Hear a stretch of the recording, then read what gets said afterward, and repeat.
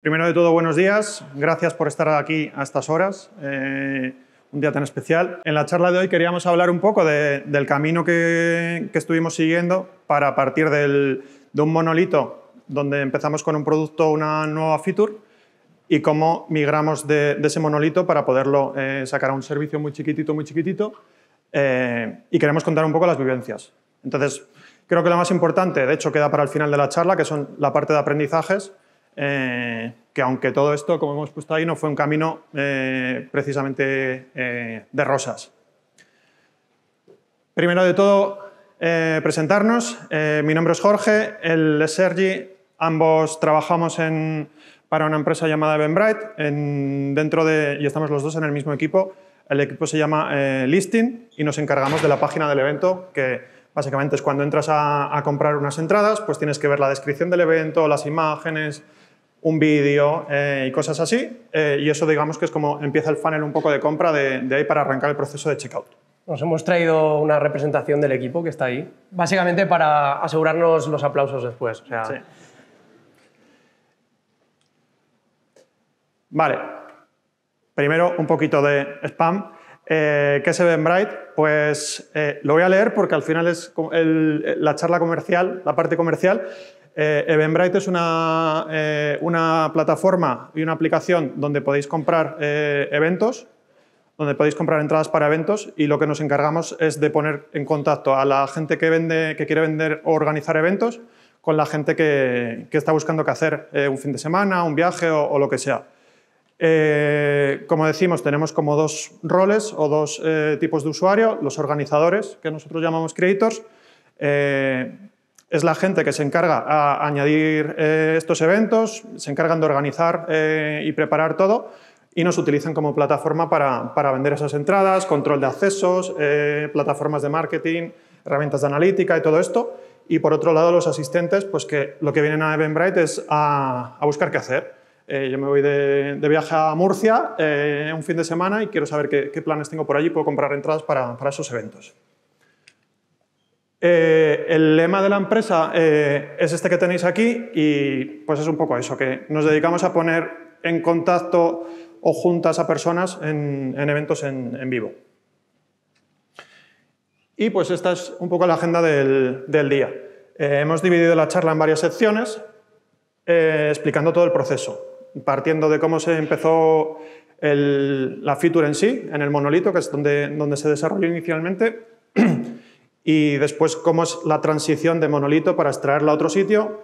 Eh, y la gracia de todo esto es que, claro, eh, la página de listing, la página del evento, es como eh, de las más visitadas dentro del sitio, le afecta muchísimo, afecta muchísimo para, para, el SEO y estas cosas, y aparte es por donde pasan todos los clientes para, para poder comprar una entrada. Entonces, con todo ese tráfico y con el, con el coche en marcha tuvimos que hacer esa migración de, un sistema a otro. Y lógicamente al final vamos a hablar de, todos los aprendizajes, como decía, durante todo este camino. Pues bueno, ya vamos a entrar en materia de qué hemos venido a hablar. Pues básicamente, un título ya hacía un poquito de spoiler, pero como estaba comentando Jorge, se trata de explicar un poco ese camino que hemos ido recorriendo para sacar una funcionalidad que inicialmente se hizo dentro del monolito de, de Eventbrite.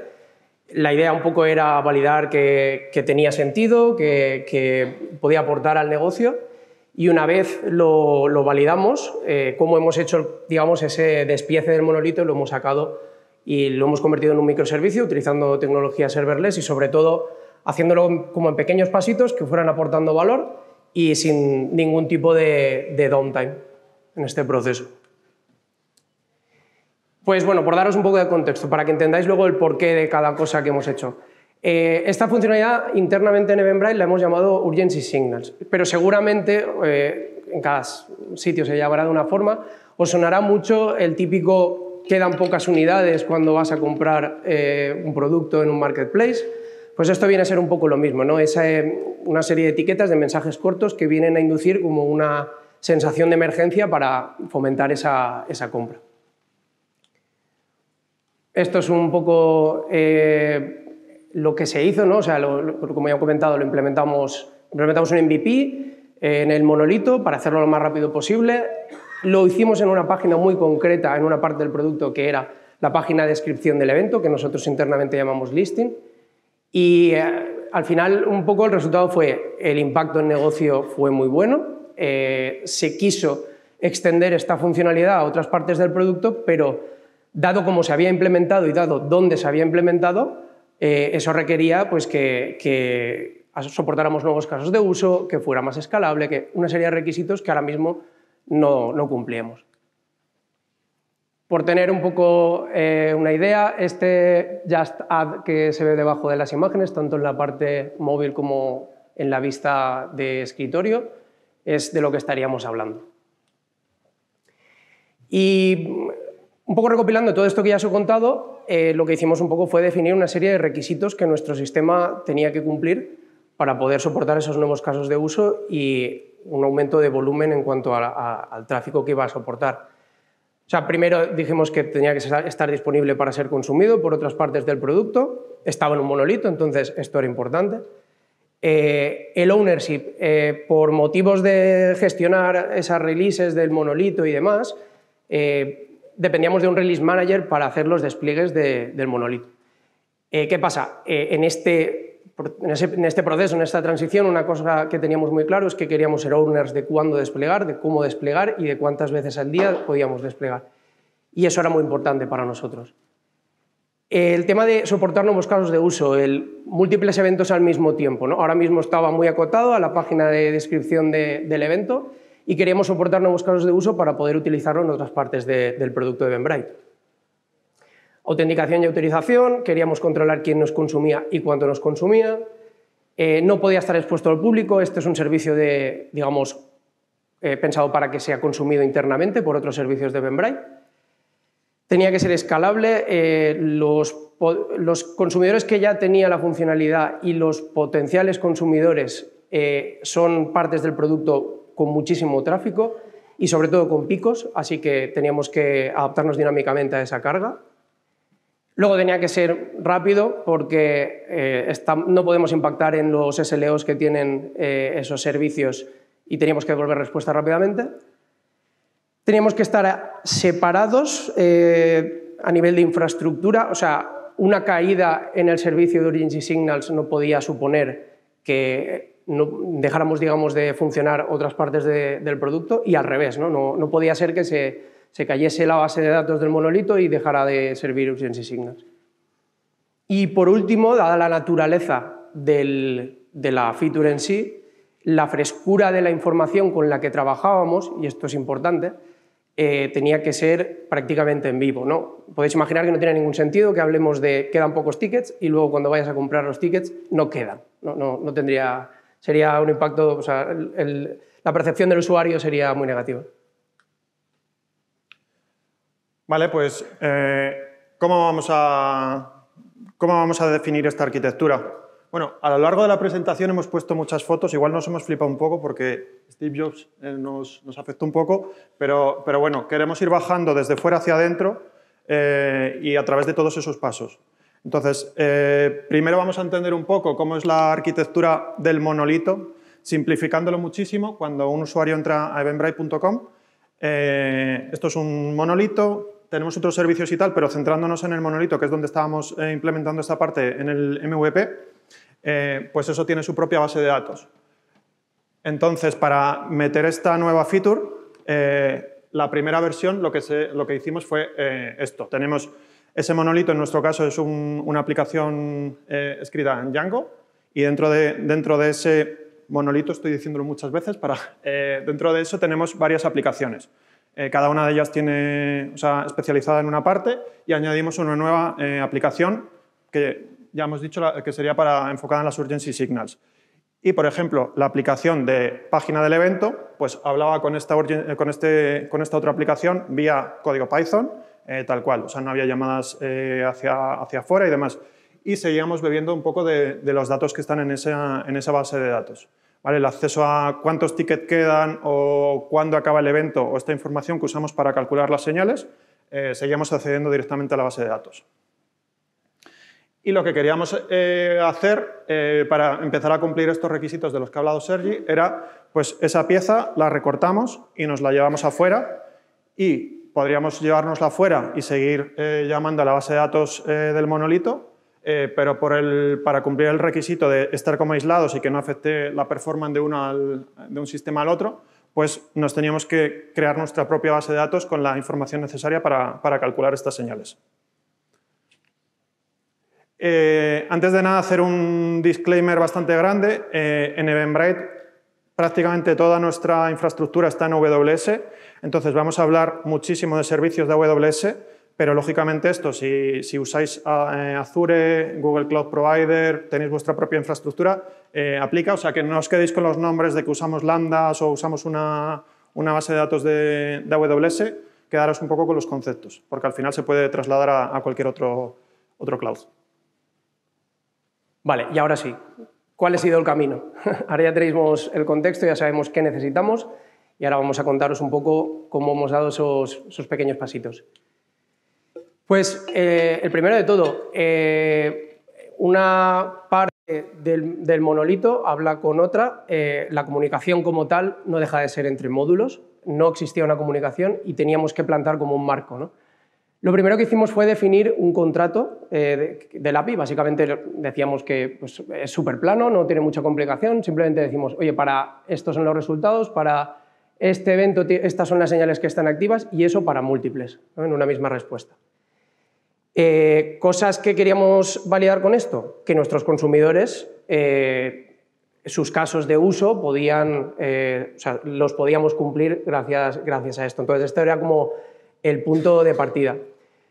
Decidimos hacerlo con OpenAPI. Eh, uno de los motivos es porque, aunque realmente no se utilizó, eh, hay editores que permiten generar clientes de forma automática y esto pensamos que podía ser eh, de valor para, para, nuestros consumidores. Por si no lo habéis visto nunca, esto es uno de los múltiples editores que existen, así esto es la pinta que tiene, eh, un contrato. Eh, cosa que está guay es que son interactuables, o sea, puedes directamente eh, hacer peticiones y demás. En nuestro caso era un servicio interno, no se podía, pero, pero se podría llegar a hacer. Y lo que realmente más valor tenía para nosotros, y era que gracias a esto eh, fuimos capaces de, en la iteración cero, digamos, eh, servir ya una respuesta que cumplía con, digamos, todo el end-to-end -end de, nuestro, de nuestro servicio. Esto ya era un poco la pinta que iba a tener al final, o sea, iba a haber una URL donde se podía consumir el servicio y iba a devolver una respuesta. Nos apoyamos en que AWS te permite un contrato de OpenAPI, mmm, ponerlo, digamos, como backend de, de un API Gateway y te devuelve una respuesta hardcodeada. Siempre lo mismo, siempre para los mismos eventos, pero eh, esto nos ayudó a validar bastantes cosas, como por ejemplo que la comunicación estaba todo en orden, que se podía eh, alcanzar el servicio, nuestros consumidores podían empezar a integrarse desde el minuto cero, que era algo que nos aportaba también mucho valor, y sobre todo eh, también eh, al final que que los equipos ya podían empezar a integrarse. No, realmente no necesitaban ni siquiera moquearse las respuestas de, del servicio porque ya había un servicio que estaba respondiendo y además cumplía el contrato. Y volviendo... Vale. Bueno, para eh, uno de los requisitos que teníamos era ser capaces de, de autenticar y autorizar. Eh, y para esto nos hemos apoyado en la pieza esta que comentábamos antes, que, que es una API Gateway. Eh, en Amazon tenemos distintos eh, API Gateway, eh, hay uno, o sea, se distinguen un poco en las características que tiene, por ello en el precio también. Eh, nosotros en este caso utilizamos eh, uno de tipo REST, porque vamos a hacer un servicio con, con, un endpoint, con un contrato y demás, y nos facilitaba bastante la cosa. Y esto también nos permite, este tipo de, API Gateway nos permite validar los parámetros tanto de entrada como de salida si lo, si lo quisiésemos validar. lógicamente, el patrón API Gateway al final lo que te hace es como enrutarte distintas o sea, distintos eh, paths, te los enruta a distintos backends. Puedes tener un backend como el que teníamos aquí al principio, que es un, una respuesta moqueada, podemos engancharlo con una lambda, podemos engancharlo eh, con incluso a la base de datos directamente, eh, y eso nos facilitaba bastante. Y una de las cosas también muy útiles es que podemos hacer la parte de autorización, autenticación, eh, ese saber quién nos consume, cuánto nos consume, lo podemos hacer también en esa capa que nos abstrae como eh, de tener que preocuparnos de implementarlo dentro de la propia aplicación y hacer rate limit, que al final es eh, pues un consumidor, si le hacen un ataque de denegación a un consumidor, por consumidor nos estamos refiriendo a consumidores dentro de otros servicios, básicamente. O sea, un consumidor es el buscador, por ejemplo, y otro consumidor es la página de evento. Entonces, si el buscador tiene un ataque, pues no queremos que eso afecte a nuestro servicio y tampoco queremos que dentro del propio servicio se afecte entre, entre el buscador y la página del evento, por ejemplo. Y lo que hemos conseguido eh, con, esto eh, hasta ahora es, eh, tenemos un servicio que está disponible, es alcanzable por, otros clientes, tenemos ownership, nosotros si queremos cambiar esos event IDs que tenemos hasta ahora mismo hardcodeados, podríamos editarlo, desplegarlo y esos cambios se aplicarían y los empezarían a, utilizar nuestros clientes, con lo cual ya somos dueños del propio, de todo el flujo ya. Eh, y estamos devolviendo múltiples eventos a la vez. Lo hemos puesto en amarillo porque es cierto que los estamos devolviendo, pero son de mentira. Entonces, eh, de momento seguimos un poco en, amarillo. Eh, vale, perdón. Creo que se nos han cruzado un par de, transparencias, sí.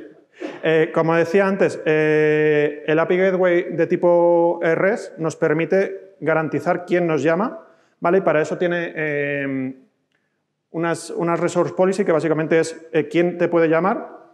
Aquí lo que estamos diciendo es eh, para este endpoint, ¿vale? para el get urgency signal event batch, que es la ruta, el path, eh, estamos permitiendo el acceso a una ARN que es como un identificador. Y en este caso decimos, si nos llaman desde esta cuenta de AWS, te dejamos llamarnos.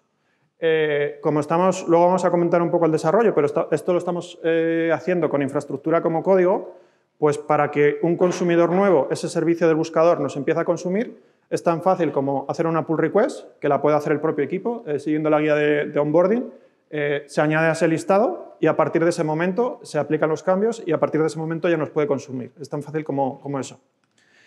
Y esta es la parte de cuánto nos puede consumir. ¿vale? Aquí estamos, por ejemplo, diciendo que eh, vamos a poder tener 10.000 peticiones por segundo y picos de, de 5.000. ¿vale? si hiciese falta. Estos números son configurables a nivel de servicio y son configurables a nivel de API client, eh, o sea, perdón, API, o sea, clientes de nuestra API. Y lo que hemos aprendido hasta este momento es eh, pues lo mismo que teníamos hasta ahora, o sea, es un proceso totalmente incremental y ya tenemos la autenticación y la autorización. Vale, y hemos dicho que el servicio no puede ser accesible desde fuera. Nuestros consumidores tenían que ser internos. Eh, para esto nos hemos apoyado en otra pieza de AWS, que es la VPC, a ver si lo digo bien, Virtual Private Cloud. Bien. Bien. Eh, al final viene a ser como una red eh, lógica privada dentro del cloud de AWS, donde todo lo que está desplegado dentro no puede ser accedido desde fuera, salvo que, como es nuestro caso, Añades otra pieza más, que es el VPC Endpoint, que al final permite controlar desde dónde eh, permites tráfico entrante. Entonces, recapitulando de nuevo, un pasito más. Eh, seguimos, digamos, con el mismo dibujo final, pero además ahora el tráfico que aceptamos únicamente es interno, desde dentro de Eventbrite. Vale, y en el siguiente paso lo que vamos a focalizarnos un poco es en eso de ser rápido, ser escalable y todas estas, estas partes. Eh, para esto, en nuestro caso, vamos a utilizar eh, tecnología Lambda. Nuevamente, no os fijéis en los nombres de las cosas. Eh, eso podría ser una máquina EC2, podría ser una máquina en Google Cloud Provider o lo que sea, ¿vale? Quedaros un poco con, el, con la arquitectura en sí. ¿Por qué elegimos Lambda? Pues porque la lógica de negocio que tienen estas funciones para, a la hora de calcular las, las urgency signals, pues al final es una lógica muy pequeña. ¿vale? Vas a decir que el evento queda poco tiempo, simplemente mirando cuánto queda para el evento y si supera cierto umbral, pues devuelves esa señal como activa. Por eso es súper simple y nos, nos encaja bastante bien.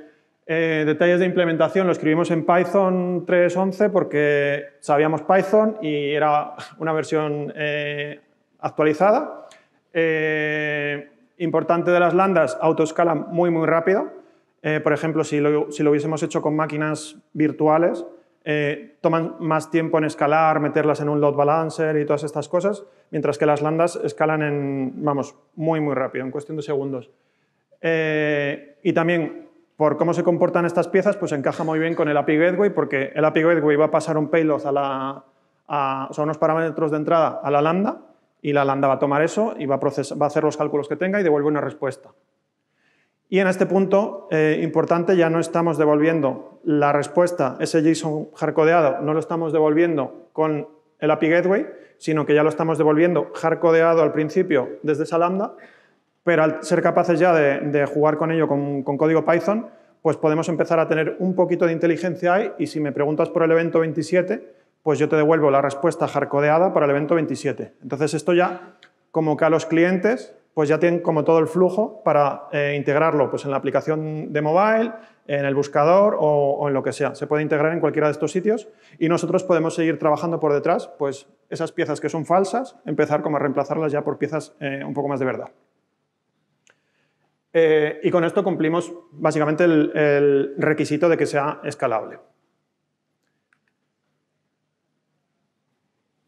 Vale, y seguimos devolviendo una respuesta de mentira. ¿no? Es una respuesta que se adapta a la petición, pero no, realmente no, esa información no, es verdadera, las señales no se están calculando realmente con información del evento. Entonces necesitábamos una, base de datos, un sitio donde almacenar eh, esa información que se iba a utilizar para que la lambda pueda calcular los eventos y realmente devolver eh, las señales de verdad.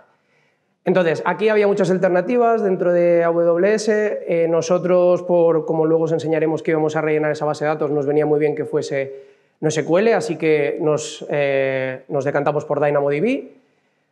Por ese motivo y eh, también porque el performance es brutal. Estamos hablando de unos 6 milisegundos de latencia para recuperar unos 50 ítems. También porque autoescala, se puede configurar de distintas maneras, pero en nuestro caso autoescala eh, por cómo lo hemos configurado y, eso hacía que digamos, sigamos cumpliendo ese requisito.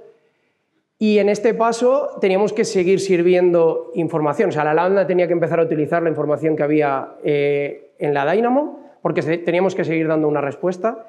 Y lo que hicimos fue simplemente insertar ítems de forma manual en, esa base de datos, eh, simplemente para que si se preguntaba por esos ítems, la lambda ya, fuese, ya pudiese pedir la información de esos ítems, calcular las señales y devolverlas. En el caso de que no estuviese, había una parte específica de la respuesta que decíamos not found event IDs, creo que se llamaba, y los devolvíamos como no encontrados.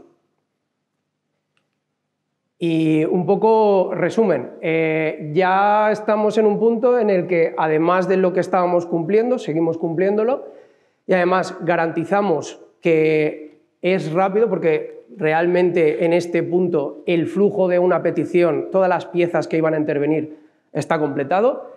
Pudimos validar que éramos rápidos, que los SLOs que en principio nos habíamos eh, planteado los estábamos cumpliendo y además sí que podemos decir que estábamos completamente separados de la, infra que teníamos alrededor, la infra del monolito y demás, porque teníamos nuestra propia fuente de información eh, y nuestro, nuestro propio servicio, en definitiva. Vale, y el último paso, hasta ahora seguimos devolviendo todo eh, de mentira, y el último paso que ya nos queda es pues coger información de verdad de eventos que están pasando en producción y empezar a vigilar eh, los cambios. O sea, esto es un patrón que se llama eh, Change Data Capture, creo que es, eh, y que lo que haces es escuchar por eventos y cuando pasan ciertos eventos, pues te suscribes a ellos y los, y los adquieres. O sea, ibas actualizando tu proyección en cierto sentido de, de esa base de datos. Eh, lo que guardamos, de hecho, en esa base de datos es una información súper minúscula. Son muy, muy pocos datos por, la naturaleza del propio eh, servicio. Eh, entonces, específicamente en nuestro caso, tenemos un Kafka que lo que hace es emitir cada vez que hay un cambio en la base de datos de, de ese monolito, pues se emite un mensaje en ese Kafka.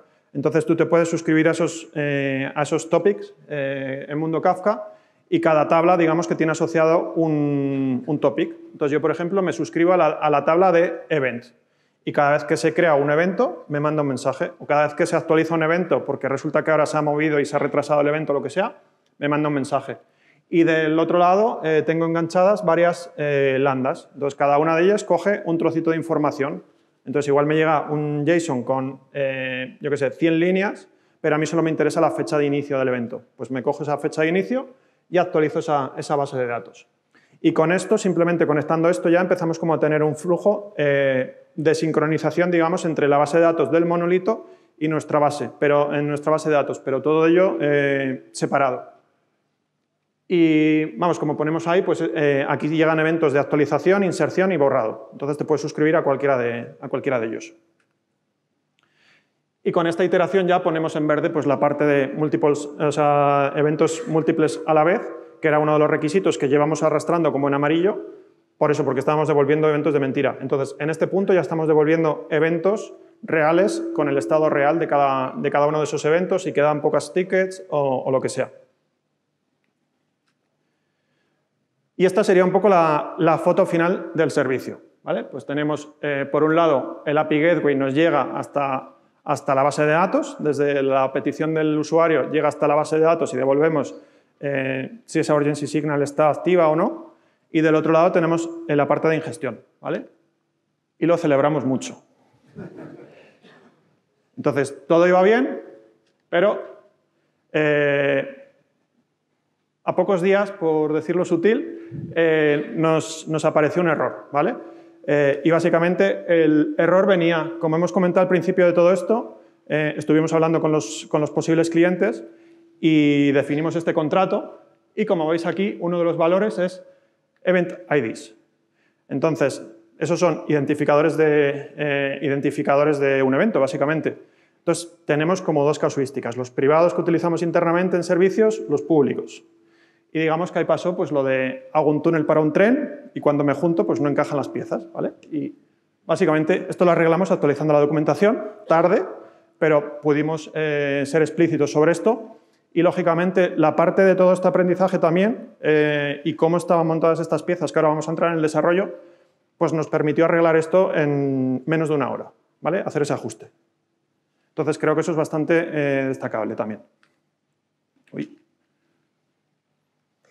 Vale, pues un poco de detalle de y qué fue todo eso que nos permitió reaccionar rápidamente a, un bug que encontramos a días, no, horas de salir.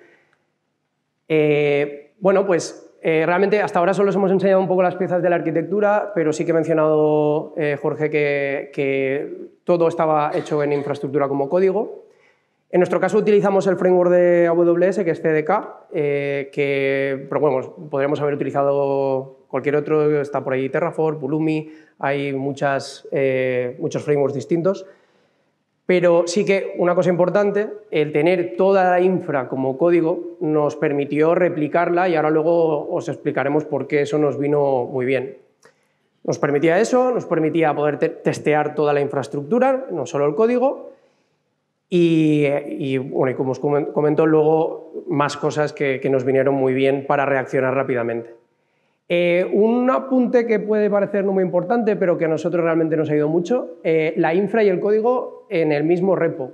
Eh, al final hay sinergias entre la infraestructura y, evidentemente, entre la infraestructura y la lógica de negocio, y el poder hacer cambios, digamos, a la misma vez y no tener que hacer cambios en paralelo nos ayudó muchísimo para ser ágiles.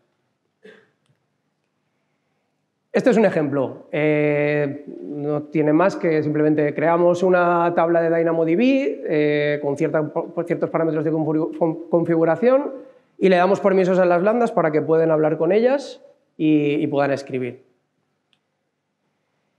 Gracias a esto, eh, lo que incorporamos en nuestro flujo de desarrollo fue lo que nosotros llamamos ephemeral environments, que en esencia lo, que lo que son son eh, instancias de la infraestructura que éramos capaces de levantar para poder hacer pruebas, para poder validar los cambios con los que estaba trabajando cada desarrollador. Cada desarrollador podía levantar el suyo propio. Eh, o incluso lo incorporamos en el flujo de CI eh, como uno de los checks que queríamos validar para dar una, una release por buena. básicamente aquí lo que consistía es, nosotros como parte de CI levantamos una, una instancia de la infraestructura, Ejecutamos unos, unos test, unos smoke test, que básicamente vienen a validar un poco que, que, la versión nueva es válida, que no se ha roto nada, que el contrato se sigue cumpliendo, autorización, autenticación, etc. Y eh, esto nos permite asegurar un poco los builds posteriormente. Este es un poco la pinta que tendría un, flujo para llegar a producción. Eh, como veis es, secuencial o vamos por etapas. ¿no? Eh, bueno, básicamente construimos la infraestructura, ejecutamos test, lanzamos eh, unos test de seguridad, que es un requisito más que teníamos, y a partir de aquí ya, como veis, íbamos desplegando en los distintos entornos. En EBMI trabajamos en dev, test, preproducción y producción, y lo que nos permitía esto es digamos, llevarlo a uno de los entornos, comprobar que todo funciona correctamente y solo en el caso de que la versión es sana y todo funciona bien, lo llevamos al siguiente stage. Eh, cosa importante, en producción además de ello tenemos Canary Releases. Durante cinco minutos un 10% del tráfico se redirigía a la nueva instancia de, la aplicación, monitorizábamos eh, que no se produjeran errores básicamente y en el caso de que se produjesen lanzábamos rollbacks automáticos eh, y, bueno, con esto un poco pues teníamos la tranquilidad de que un Merchant Main iba a llegar sano a producción o no iba a llegar. La coña que tenemos dentro del equipo es que tú en Urgency Signals le puedes dar a, Merch a la, pull request, te vas a hacer tus mandadillos y luego cuando vuelves esto está o en producción o, o no, en base al resultado. Vale, y ahora vamos a hablar de los aprendizajes. Buah, es que las fotos son muy desflipadas. No me he puesto chanclas en mi vida, yo creo. Eh, Aprendizajes importantes. Eh, esto es muy específico de la infra que estábamos utilizando, pero en nuestro caso eh, utilizábamos lambdas, como ya hemos dicho. Entonces, de las pocas cosas que se pueden configurar en lambdas en cuanto a cómo de potentes son, es la memoria que le asignamos. No hay una forma igual que cuando levantas una máquina virtual de decir quiero una X large o lo que sea. Eh, tú le dices hay cuántos megas quieres y ya está, no puedes configurar más. Eh, claro, nosotros estábamos monitorizando todo esto eh, y como digo, la lógica de, las landas es súper sencillita, o sea, es hacer cuatro cálculos y devolver una respuesta. Entonces, en cuanto a memoria, íbamos muy, muy sobrados y nunca lo tomamos como un cuello de, botella ni nada. Eh, leyendo bastante documentación, llegamos a un artículo que decía que los recursos dependen de esa memoria. Entonces, si tú subes la memoria, también estás subiendo la CPU y también estás subiendo la capacidad de red. Entonces, solo con un cambio y un ajuste de esa memoria, eh, pues la lambda bajó, pero de golpe, eh, el, tiempo, el tiempo que tardaba. Eh, de hecho, hay alguna herramienta que se, encarga de hacerte como log test y digamos que te empieza a hacer log test con distintas configuraciones y te dice más o menos dónde tendrías que, cuál es la configuración que deberías tener que utilizar. Eh, otro de los aprendizajes que, tuvimos es eh, esta gráfica de aquí.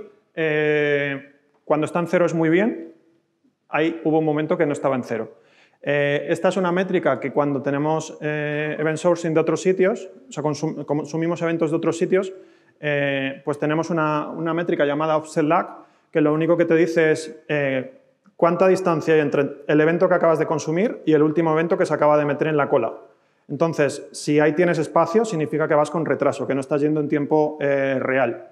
¿Vale? Entonces, como veis ahí, pues hay un pico bastante hermoso. Entonces, durante ese tiempo estuvimos retrasados pues, unos cuantos eh, miles de mensajes, por ejemplo. Eh, y la implicación de esto es pues, que las urgency signals no son tan urgent, sí que siguen siendo signals, pero, pero bueno. Entonces, ¿cómo conseguimos solucionar esta parte? Pues inicialmente ese conector que nos mandaba, que escuchaba Kafka y nos mandaba los mensajes a nuestras lambdas, eh, al principio cogíamos un mensaje, lo procesábamos, cogíamos otro mensaje, lo procesábamos. Entonces, eso es súper ineficiente. Eh, entonces, manipulando el tamaño de los mensajes que recibes en cada paquete, pues conseguimos volver un poco a, un track. Y otra de las cosas que se puede hacer con estos conectores es ponerle filtros, porque a lo mejor eh, quieres enterarte de cuándo ha cambiado la fecha del evento, por ejemplo, pero si el evento ha cambiado de nombre te da un poco igual, porque realmente solo quieres devolver la señal de, oye, queda poco para el evento, o cosas así. Eh, y esas serían como las, dos optimizaciones o dos ajustes que tuvimos que hacer en, cuanto a las landas. Y luego, en cuanto a todo el resto de infraestructura, eh, aunque Dynamo es súper rápido, aunque las lambdas son súper rápidas, aunque el API Gateway es súper rápido, estamos poniendo cada vez más capas. Entonces, lógicamente, cada capa de estas que ponemos añade un poquito de latencia. Eh, Dynamo creo que estaba por los 6 milisegundos, 6-7, son tiempos muy buenos para eh, las landas estaban tardando 20 milisegundos y nosotros estábamos vigilando esa, esa métrica porque queríamos optimizar que la lambda tardase poco. Pero claro, a los consumidores externos les da igual lo que hagamos nosotros por debajo, lo que les encaja es el, el tiempo final. ¿vale? Y ese tiempo final es el más externo, que en este caso es la, la dependencia más externa, es ese API Gateway. Entonces, en nuestro caso, solo por poner ese API Gateway nos está metiendo como eh, unos 20 milisegundos eh, de gratis, o sea, nos está liberando de toda la parte de autenticación, pero hay que tenerlo también eh, en cuenta. Y el último es un aprendizaje más en cuanto a mm, cómo se desarrolla el proyecto. Lógicamente, los tiempos siempre son ajustados. queríamos poder enseñar las cosas cuanto antes a los consumidores y que las pudiesen utilizar, entonces, hay ciertas partes que igual dices, ya las dejo para mañana o ya las dejo para el final del proyecto. Por ejemplo, podemos tener CI, que es, tengo test y ejecuto los tests, pero, por ejemplo, llegar a continuous deployment eh, desatendido, o sea, la, palabra clave ahí es desatendido, que no tenga que ir nadie a probar el deploy, eh, pues llegar a eso cuesta. Entonces, es algo que al principio habíamos planteado dejarlo como al final, porque solo nos interesaba a nosotros, no le interesaba producto, no le interesaba a otros consumidores, y al final cambiamos un poco el approach, lo metimos desde el principio y lo bueno es que luego, durante todo el proyecto pues no hemos tenido que estar desplegando, mirando métricas, esperando a ver si todo va bien y poniéndonos otra vez a la otra tarea, sino que mergeábamos y nos poníamos otra, otra cosa. Y creo que no nos hemos dejado nada por ahí. Si tenéis preguntas, pues ahora es el momento. ¿Cómo gestionáis el tema de la idempotencia y obsolescencia? Cuando vienen, por ejemplo, desordenados los eventos, primero llega el update, luego llega el insert, cosas así. O si tenéis que reprocesar todo el, log de Kafka.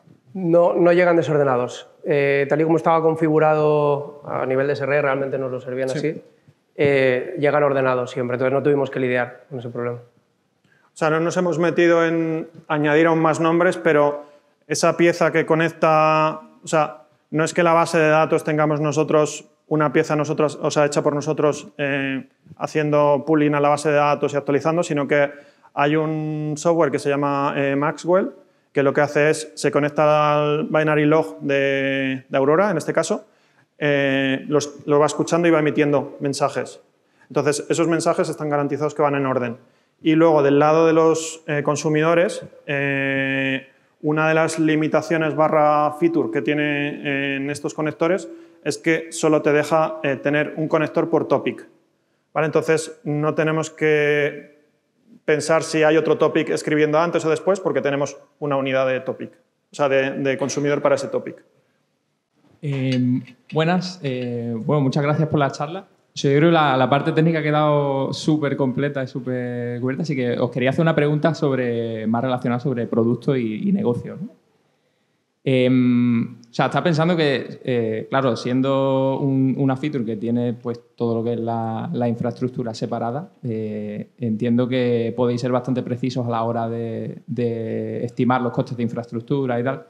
Y que por otra parte también a nivel de producto, por lo que he entendido del producto, se puede desactivar fácil con un A-B testing, con feature flags y tal, y hacer pruebas de... Entonces quería preguntar, ¿habéis llegado a medir evaluando estos costes de infraestructura y otros costes asociados que, tengáis y haciendo este tipo de A-B testing si la feature es rentable o no.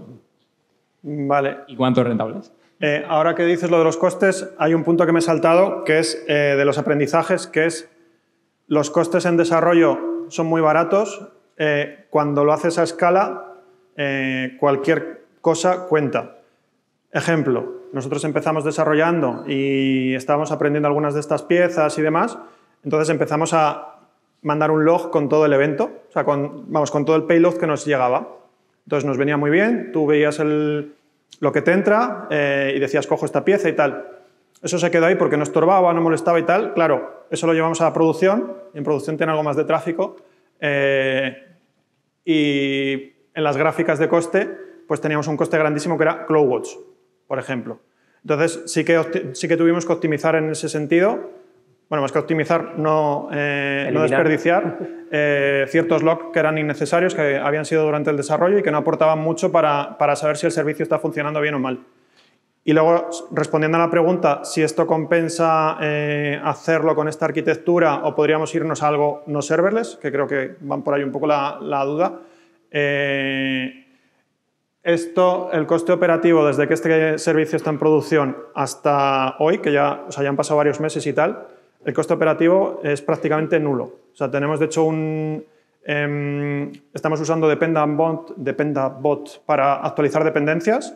Cada lunes tienes dependencias, las aceptamos. Como tenemos test, pues valida que, no está rompiendo nada, y, pero las aceptas mientras estás trabajando en otro proyecto casi. Y esto se despliega solo. Entonces, el coste operativo de estar monitorizando eso, tener que actualizar las dependencias de, de las máquinas de C2 o, o dónde estamos desplegando en esa infraestructura, eso es tiempo humano, que es el más caro. Entonces, sí que se tuvo mucho en cuenta al principio del proyecto eh, hacer ese balance, sobre todo. No sé si te he contestado o la he esquivado, pero... La parte de coste sí, bueno, la, la parte de eh, a nivel de productos, si hacéis A-B testing y sabéis calcular el Ah. revenue de la feature, ¿eso lo, lo hacéis? Hay una cosa que no hemos comentado, eh, eh, lo hemos pasado un poco de largo, pero en el contrato sí que había, un, de hecho era un parámetro dentro de- del API que nos permitía como servir distintas variantes de las urgency signals. No lo hemos mencionado porque pues, no venía un poco el caso, pero sí que con eso, eh, digamos, estamos listos para poder hacer este tipo de pruebas. Pero sí es verdad que la feature, cuando realmente la sacamos del monolito, una feature que estaba bastante probada, ya sabíamos qué queríamos y no se ha seguido experimentando, pero podríamos hacerlo, está preparado para poder hacerlo. Y de hecho, o sea, al principio empezábamos diciendo que esto se hizo un MVP y que empezamos con el desarrollo del servicio oficialmente después de haber visto que esto mejoraba muchísimo el o sea, la conversión. Entonces, eso es trabajo de, de producto de, de decir, oye, esto te está mejorando un no sé cuántos por ciento el, el margen que tenemos, por ejemplo, o mejora la conversión en... O sea, todos esos datos fueron necesarios para justificar un desarrollo nuevo. Ok, gracias. Una cosa, eh, respecto a. Respecto a. Aquí.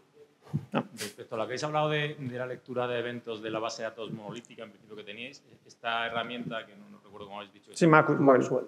¿la habéis implantado parte de este proyecto? ¿Ya la teníais? ¿Ha sido Eso ya estaba. Ya está. Sí. Ya estaba, ya formaba parte de la infraestructura de Eventbrite. Exacto. O sea, lo, lo tenemos para... eh, o sea, al final es, es útil de cara a desacoplar servicios. Eh, lógicamente no es algo a lo que se aspire, por así decirlo, en, en la foto super final, porque idealmente nosotros podríamos ser notificados por el propio servicio de eventos, el propio servicio de cuántas entradas quedan, que nos, que nos hiciesen a nosotros push sin tener que estar escuchando un topic. ¿vale? Podría ser el paradigma.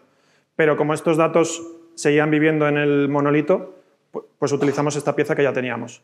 Para, pero cambiar la, la ingesta de datos sería tan fácil como cambiar ese, ese conector contra Kafka, eh, cambiarlo por algo que, pues un webhook en el servicio de eventos, por ejemplo, que nos llame y con eso actualizamos la base de datos. Pero el, el patrón sería un poco el mismo, de a mí me llamas con 100 líneas de, de información, yo me cojo lo que me interesa y voy poblando mi base de datos con trocitos. ¿Una más? Hola. Eh, sí, era una- un detalle, muchas gracias, por cierto. Eh, eh, las landas, habéis dicho que escalan muy bien y, y yo en su día cuando las usé mm, no escalaban bien, escalaban por baches. Eh, entonces era para preguntar si os habéis encontrado con ese problema o ese problema ya no, ya no existe. ¿no? El- el- era, escalaban, eh, o sea, eh, como que se mm, alocaban X eh, slots de, de lambda y el X más 1 te hacía esperar muchísimo tiempo. ¿no? Sí, el cold start, que Sí, el creo cold que es, start, que es como le llaman en. Lambda. Eso es. Sí, eh, eso eh, teníamos un poco de miedo, o sea, lo tuvimos muy en cuenta, sobre todo al principio, porque a nivel de desarrollo, pues estábamos haciendo pruebas sobre lambdas que estaban en estaban cold y veíamos que los tiempos eh, tardaban mucho, ¿no? Claro, las lambdas están pensadas para tener tráfico constante y mantener muchas instancias levantadas a, digamos, a, a la vez. Porque eso es lo que te permite ser siempre capaz de responder, de devolver una respuesta. Con muy poco tráfico ese problema existe, con muchísimo tráfico como teníamos en nuestro caso, ese problema se diluye muchísimo. Entonces, realmente no, no nos ha supuesto un problema una vez en producción. Y de hecho, llegado el caso, si tuvieses poco tráfico, otra configuración, ya estás dejando de ser serverless propiamente dicho, de que, que solo pagas por lo que usas. Puedes, si eso es un problema, podrías dejar como precalentadas lambdas, pero estás haciendo un poco trampas en lo de serverless porque ya eres server with, pero, pero bueno, si ha llegado el caso sería eso. Pero sí que es verdad que en el momento que empiezas a recibir tráfico, digamos que el reciclado de lambdas es prácticamente transparente. Eh, hay una métrica que es em, concurrencia de las lambdas y que es un poco saber dónde estás escalando. Y es muy planito, o sea, la verdad, porque nuevamente la lambda es súper ligera, o sea, es una, una, cuenta, pero una función muy pequeña para calcular estas señales. Entonces, una misma lambda calcula muchas, o sea, devuelve muchas respuestas. Y esa lambda se, se muere, eh, mientras tanto se está levantando otra y tal. Pero ese precalentamiento, que en, en ECS o, eh, o, o sea, en EC2 o en ECS, por ejemplo, con contenedores, estamos hablando del orden de minutos, como quien dice, en Lambdas estás hablando de segundos y pocos segundos. Coffee break. Perfecto. Eh, una última pregunta. Muchas gracias por la charla, es bastante interesante. Eh, habéis mencionado el tema de CC, habéis pasado un poquito ahí de puntillas. Solo quería saber un poco, cuando hay cambios en la base de datos de origen, por ejemplo, se añade un campo nuevo o algo por el estilo, ¿cómo lidiabais en los eventos para versionar esos cambios? Mm, la respuesta corta es no lidiábamos porque no hay, o sea, cuando se hacen migraciones en la base de datos eh, son siempre, retro, o sea, añadir una columna en pocas palabras, o sea, para ser retrocompatible. Y luego, aunque hubiese ese cambio, a nosotros nos da un poco igual por lo que hemos comentado, que la lambda de ingestión da igual lo que tú le metas, se va a quedar con el cuando empieza el evento. Entonces, todo lo que hay alrededor de si desapareciese un campo nos daría igual también, porque no lo estamos, no lo estamos mirando.